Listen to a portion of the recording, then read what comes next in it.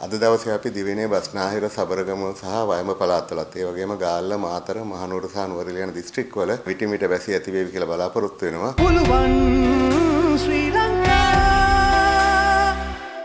ඒ වගේම ඌව පළාතෙත් මඩකලපුව සහ අම්පාර යන දිස්ත්‍රික්කවලත් සවස් කාලේ හෝ රාත්‍රී කාලේ ස්ථාන ස්වල්පයක වැසි හෝ ගිගුරුම් සහිත වැසි වර්ධනය වීමේ ඉඩකඩක් තියෙනවා. ඒ වගේම මධ්‍යම කඳුකරේ බටහිර බෑවුම් ප්‍රදේශවලත් උතුරු උතුරු මැද සහ වයඹ පළාත්වල සහ සම්බන්තර සහ ත්‍රිකුණාමල යන දිස්ත්‍රික්කවල විටින් විට හමන පැයට කිලෝමීටර් 40ක 50ක වගේ තරමක තද සුළං අපි අද දිනටත් අපේක්ෂා කරනවා. දිනවට මුහුදේ කාලගුණය සැලකුවාම පුත්තලම සිට කොළඹ ගාල්ල හරහා මාතර දක්වා වගේ වෙරළට ඔබ්බෙන්නන මුහුදු ප්‍රදේශවල විටින් විට වැසි ඇති වේවි. ඒ වගේම නැගෙනහිර මුහුදු ප්‍රදේශයේත් සවස් කාලේ හෝ රාත්‍රී කාලේ ස්ථාන ස්වල්පයක වැසි යෝගී උරුම සහිත වැසි වර්ධනය වේවි. සෙසු මුහුදු ප්‍රදේශවල අපි තරම් වැසි බලාපොරොත්තු වෙන්නේ නැහැ. දිවෙන වටා මුහුදේ සුළං හමන්නේ නිර්ත දිශාවෙන් වේගය සාමාන්‍යයෙන් පැයට කිලෝමීටර් 30ක් 40ක් අතර වගේ වේවි. නමුත් ත්‍රිකුණාමලයේ සිට කංකසන්තුරේ මන්නාරමුව පුත්තලම හරහා හලාවත දක්වා වන වෙරළට ඔබ්බෙන්නන මුහුදු ප්‍රදේශත් මාතර සිට හම්බන්තොට පොතුවිල් දක්වා වන වෙරළට ඔබ්බෙන්නන මුහුදු ප්‍රදේශවලත් මෙම සුළඟේ වේගය විටින් විට පැයට කිලෝමීටර් 50ක් 60ක් දක්වා වැඩි වෙන්න පුළුවන්. ඒ අවස්ථාවල එම මුහුදු ප්‍රදේශ රළු වේවි. ඒ වගේම